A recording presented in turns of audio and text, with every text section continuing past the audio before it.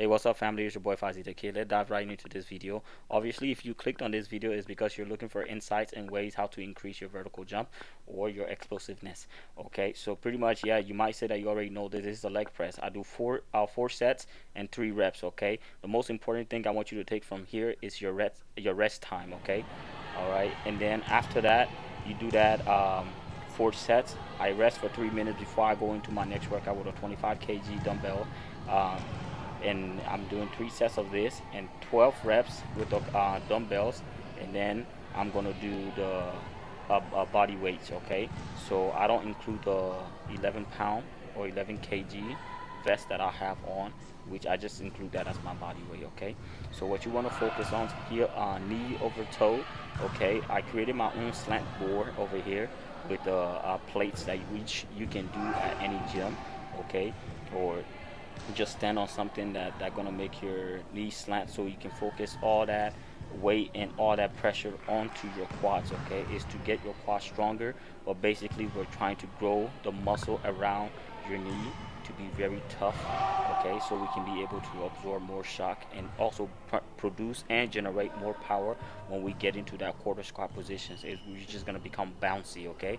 Your knee has to be like your knee and quads has to be like a rubber band okay? Get be ready to snap and then bounce okay?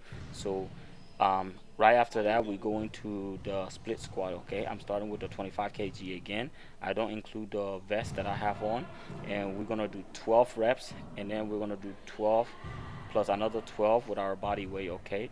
And this right here man it engages everything. Your quads are engaged. Um, your glutes are engaged okay? Uh, your hamstrings are also engaged. So it's a very important crucial workout to do. And these three workout if you uh, rotate them into your jump training and the time that you spend. Whenever you do like heavy weights i promise you you will feel changes you will see the changes in your body. You will see the changes in your jumping ability. You'll become you'll feel much lighter on your feet okay?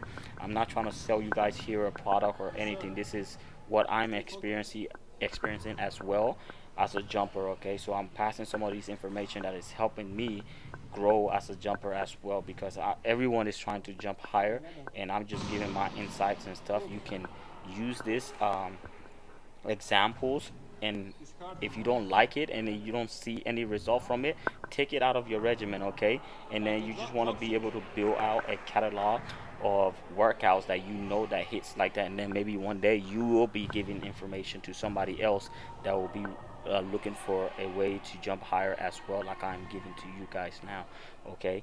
Um, so on the body weight part you want to go a little faster right and put that bounce and you can see that I'm feeling that burn in my quads man like leg was on fire like at the end like I can barely walk us like my knee my legs were giving out pretty much because that's how much tension and how much pump they were and exhausted they were okay?